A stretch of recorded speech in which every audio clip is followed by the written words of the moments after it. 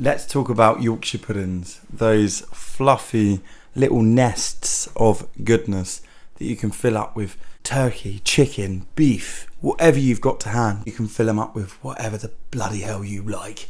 I've got tonight a few leftover pigs in blankets. We also have some of the wife's roast potatoes. Now, we did go head to head this evening, and um, I only have three left. So you can guess who won. My recipe consists of nothing more than eggs, flour, milk, water, and salt. Depending on how you like them, you swap out the water for carbonated water if you want them more aerated and kind of hollow, crispy. Dry is probably the wrong word. It's not how I like them. I prefer them without the water, without the sparkling water, because then they end up a little bit more of a, a Yorkshire pudding in that they are fluffier inside. They don't turn to a dust when you crush them, and they are dead easy to make. If you don't know how to make Yorkshire puddings, I'm going to show you in as simple as three ingredients in the oven, 28 minutes, out, boom, done. Now I'm going to start with two eggs in a glass.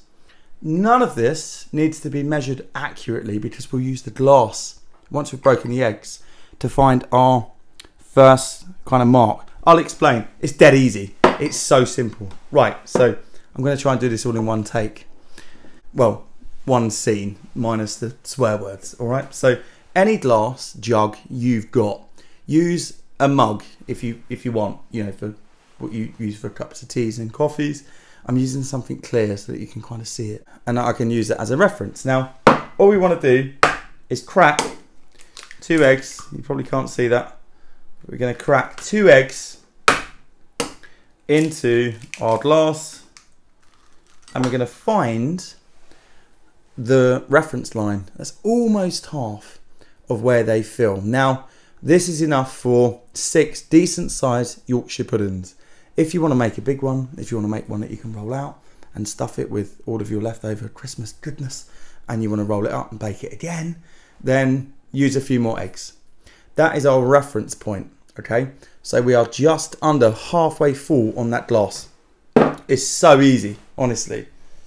Again, trying to do this all in as little takes as possible. We get ourselves a bowl, get our eggs, put our eggs in the bowl, and we match every single ingredient eggs, the flour, and the milk exactly, or as exact as we can get.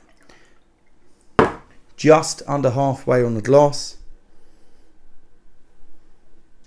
straight into the bowl, and we give that a little bit of a whisk just to get some air in there. Mm.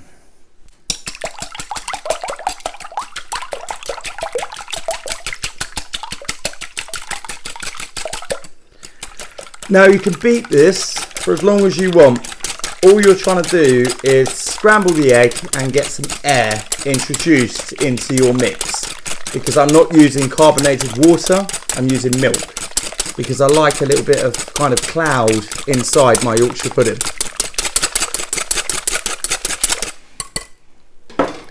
Now, once you've done that, just click that on. I'm having some real issues with microphones lately and the fact that I've used all the flour. I'm also baking bread. These are going to be burger rolls for something that I can't yet share on the channel because I'm doing a Christmas food series and it's kind of like my own recipes. I like to make things that are original, so I'll keep all of that kind of to one side. Although I'm going to show you one more thing. Check these out. These are my mini burger rolls. They are sesame seeded. They are egg washed. They're too bright to see because of my studio light that's um, just too bright. All right, but this is going to come up in another video. Uh, and like I say, this is going to be for a festive series here on the channel. Now, back to the Yorkshire puddings. we use quite a lot of flour um, here in this kitchen. We bake pretty much every single day, and if it's not me baking, it's my wife. So plain flour will do. Don't use zero zero. Save that for your pizza bases and your main bread recipes. All we're going to do is use the same glass, We're not sifting anything here. It's not essential. You don't need to worry about lumps um, because we can whisk those out. If this was zero zero, I would I'd measure it more accurately, but it's not. Tamp it down.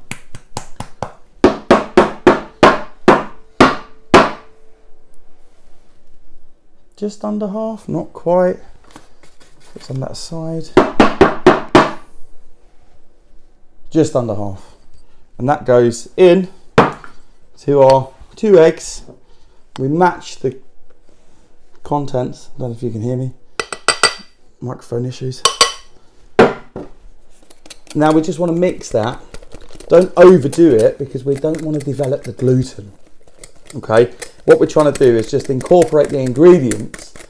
If we were to overbeat this or put it into a machine or a, you know, use an electric double whisk, for example, we're going to develop it too much that when it's in the oven, it's not going to want to rise because it's going to be really tight. So we're just looking to incorporate the mixture with the flour, you know, the egg, milk, flour, just enough, you know, that we get most of the lumps out without overdoing it. That's it. And before we do anything else, we need a pinch of salt. And that comes out quite violently. That's, a decent pinch of salt. The most crucial step in any Yorkshire pudding recipe is that you let that rest. You can put it in the fridge, you can put it on your countertop, you can leave it where you like. After about 30 minutes, you'll find that a lot of the lumps have gone anyway. The gluten has started to relax. We've just brought the ingredients together. That's it.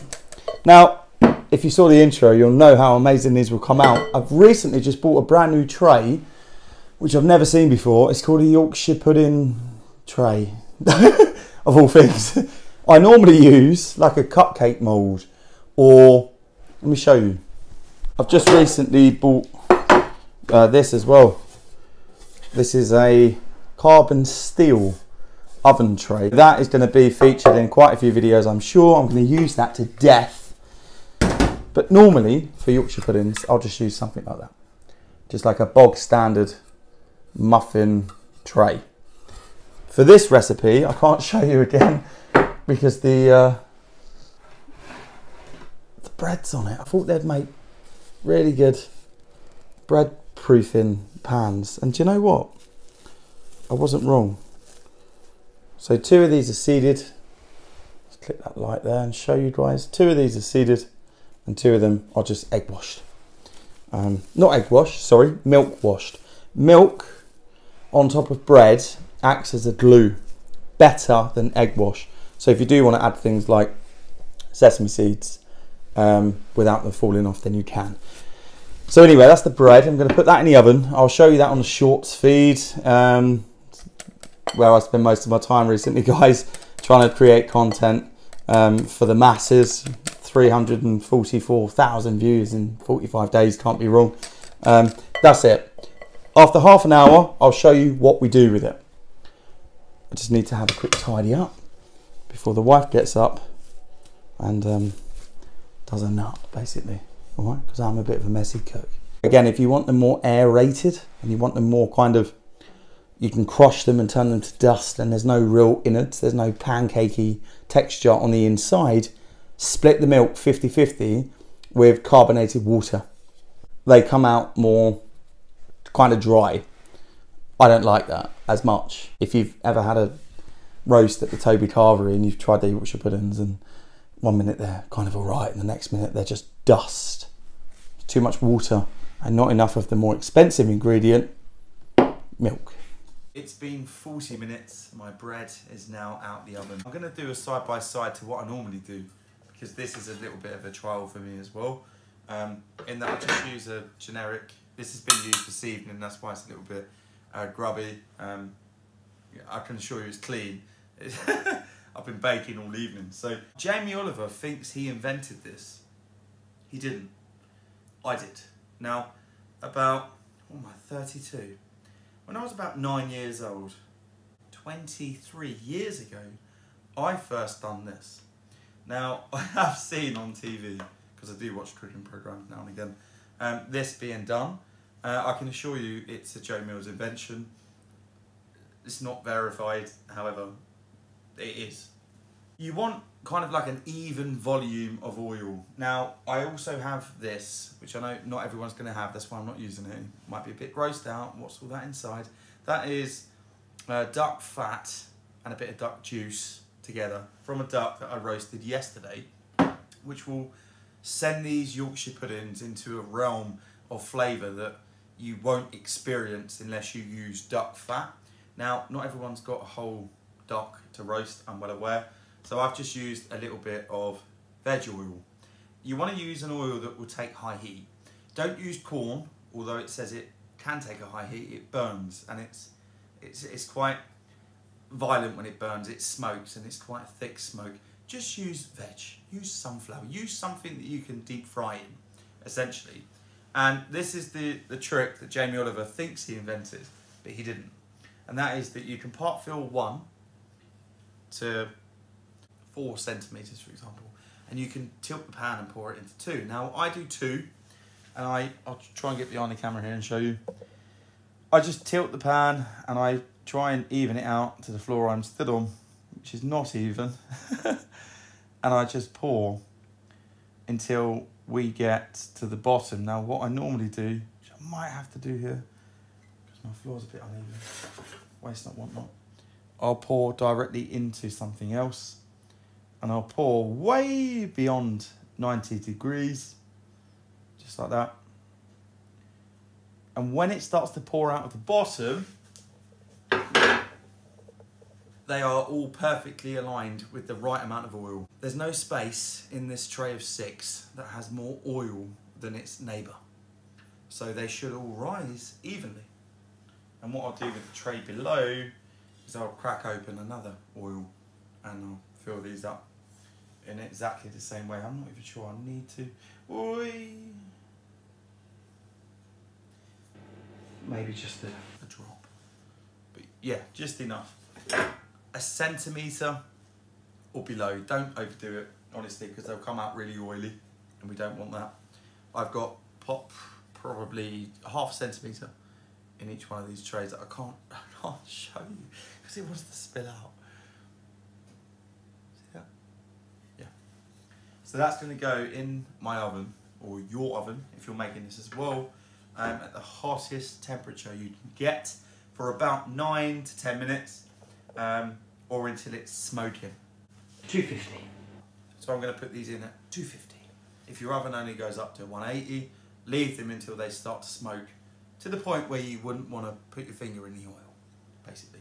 Now what I am going to do is pour that into a jug because it's going to make pouring these into the oven, into the trays, a little bit more uh, easy. Ooh, I think we've made just enough. That do. And this is also your pancake mix. So if you don't get round to using it all, maybe you only want a few Yorkshire puddings, put it in the fridge, save it in the morning, get yourself a really hot pan, and that is the most amazing aerated batter. Better the longer it's left for Yorkshire puddings and pancakes. So get your jam and your strawberries on standby um, for any leftovers. I don't think I'm going to have much left because I'm making quite a few here. We need the oil to remain hot, which I know it is because it's burning my eyes. If you ever heat up oil in your oven for something like this and your eyes start stinging, it's kind of time to add your, your mixture and uh, there you go. right on cue. Let the oven do the work. So I'll bring you over. I'll try and do it in one take, and um, and we'll go from there. Work as quickly as you can while being safe. We're going to bring this out. Okay. We're going to directly add our batter straight in. We're going to go for kind of half a fill. Now, normally I use a teaspoon underneath so that we don't get too many drips. I haven't done that today because I'm rushing to try and show you guys how this works. Can you hear it? I'm not sure. but already, can you see the bubbling action? Straight back in the oven on the highest temperature. Don't leave them on the highest temperature. We want to replace the heat that we've just lost for just a few minutes. So just a few minutes on the highest heat setting and then turn it down to around 180 for about 28 minutes, give or take your own oven. All right. All right more cleaning up to do. Yeah. Never ends. It's got to be said, don't just leave the room and let them sort of fend for themselves. Keep an eye on them. My timer hasn't yet gone off, but I'm going to open the door because I think they're done.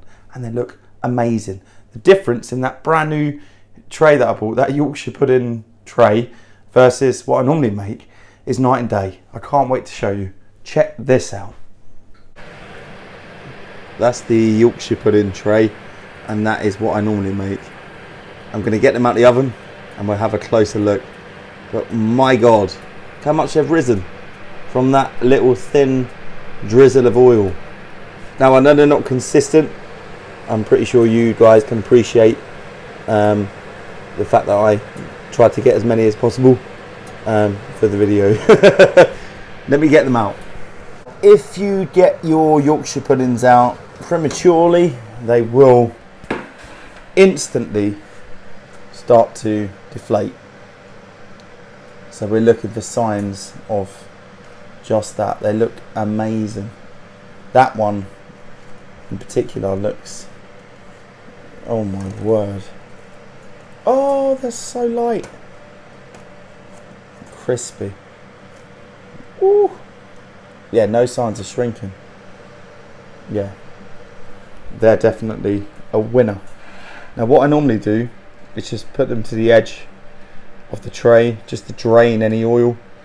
And just before serving if I'm making a roast dinner I'll put them back in the oven minus the tray just so we can get rid of some of that. But that's all reusable.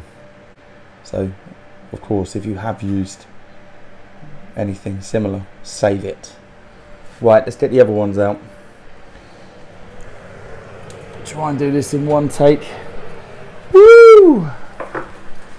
And immediately if they start to shrink I put them straight back into the oven.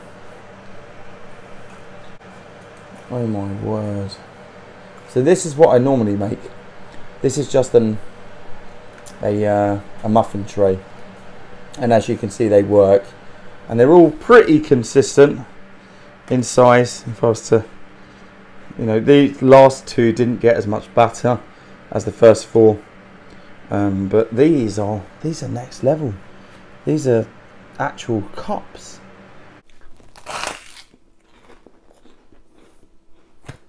My word.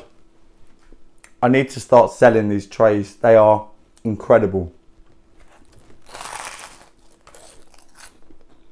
Mmm.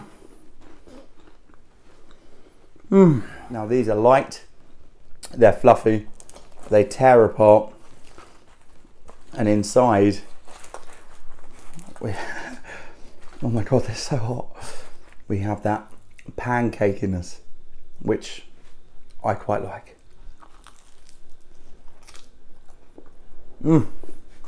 just imagine how many brownie points you'll get in the house if on a Sunday or for Christmas you prepared such a feast I mean some veg that's definitely missing some gravy, and you know, friends and family to share this with, you would get some serious brownie points. Right, I've got to try and find a good angle where I can get a decent bite. Here we go. Are you ready? Mmm. Oh my word. they are killer. Absolutely delicious. Not greasy because I did put them back in the oven as I said I do. Normally just before a roast. If you follow the recipe that I've shown you, you won't be disappointed. Make sure to subscribe. Cheers. I'm to get off there. A few more of these, and that'll probably cave in.